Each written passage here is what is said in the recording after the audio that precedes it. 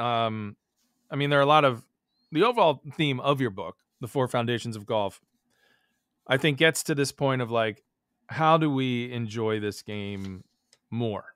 And a huge part of that is, and, and you know, and there's all beneath that, there are all these different ways to play better golf as a way to enjoy it more. But I think central to that is this idea of managing one's expectations. How do you do that?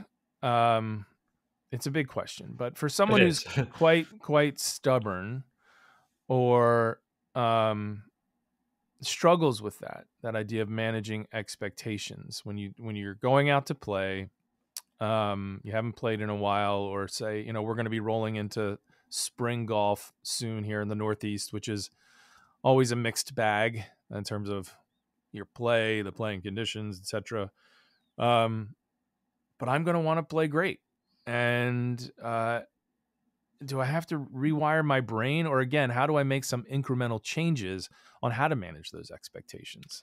I think there's it, it's one of the topics in golf that I don't think if you get it right, you have very little chance of improving. So I, I believe it's like the fundamental of fundamentals, whatever right. you want to call it.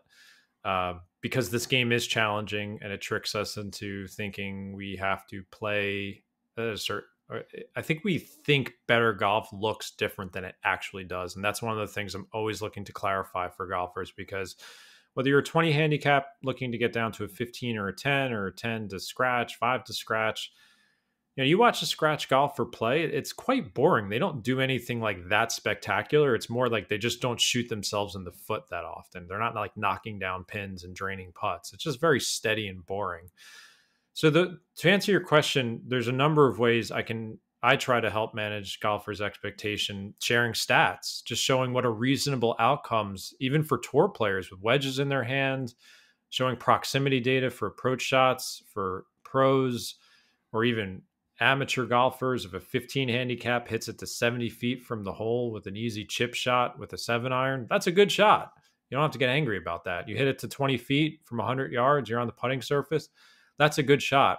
So it's this kind of fundamental rewiring, as you said, of your brain into understanding like what does good golf look like, and more importantly, what are reasonable outcomes on the golf course for me and my skill level.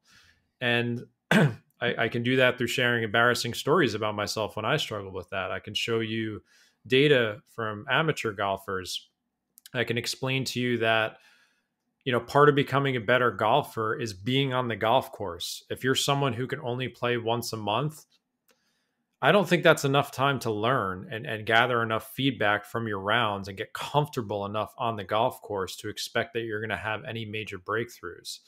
Um, so th- there's so many ways to solve this problem for different golfers, but I think the inherent issue is that you know, we watched golf on TV. We're shown a, a, version of golf that isn't exactly truthful. It's more of a highlight reel. And then we have all these golfers on the course, and I was like this for over a decade, just getting crazy and angry at ourselves for all these shots where I look at them now and I'm like, that was a good shot. And you're like losing your mind over it. And if you can make that fundamental shift, then the game really opens up for you. It has strategic implications, it has mental implications in your mood um, you're more patient with yourself. So it does help solve a lot of issues. But fundamentally, you need to make the decision that I am playing this game for fun. It's not my job. And that no matter how good you get, I want to prioritize and ask myself the question at the end of the day Did I have fun?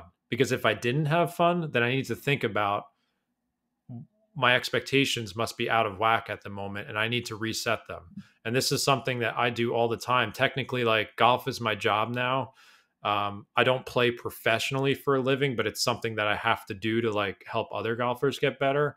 And I still ask my question myself this question every time I play a tournament or even a recreational round is like, did I have a good time?